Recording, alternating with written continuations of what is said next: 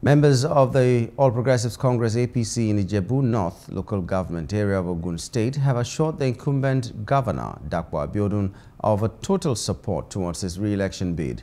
Speaking during the governor's recent visit to Ijebu the members emphasized that all of the in initiatives Governor Abiodun started were finished in less than four years and that one good deed merits another. In order to maintain the development progress being seen in Ogun, they asked eligible individuals to obtain their permanent voter cards and vote for all the candidates of the All Progressives Congress APC from the President to members of the House of Assembly. Meanwhile, former Governor Gbenga Daniel, who is also the district APC senatorial candidate, called on political gladiators in the state to stop working in different directions in the interest of the state. You can see that is not a government that is sectional. This is a kind of government that covers the 20 local governments in Ogun State.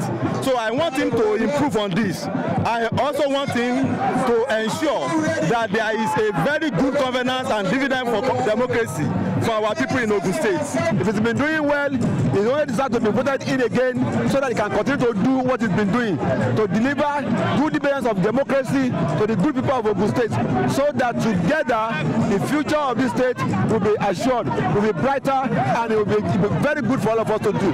because I know from my experience that it is only when there is unity that we can make progress. And we have no choice, especially because everybody is in the same party. So what I'm working on is to unite everybody where there are minor frictions, we're trying to work it out. I assure you that we, we will not relent. We will not relent. We will continue to deliver on all our promises made to you. We are a promise-keeping administration.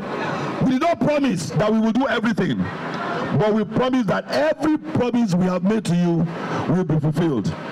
On that note, I want to plead with you that as we prepare for the 2023 elections, let us all go out there and collect our permanent voters cards. Because without our PVCs we will not be able to vote for the candidates of our choice. And when we have our PVCs eduru eduru eduru eduru and after collecting our PVCs if this kind of commissionings that we have done here in Ijebu and we are doing all over the state if these are the kind of things that you voted us in office for and you would like to see a continuation of these kind of things, please take your PVC on February 25.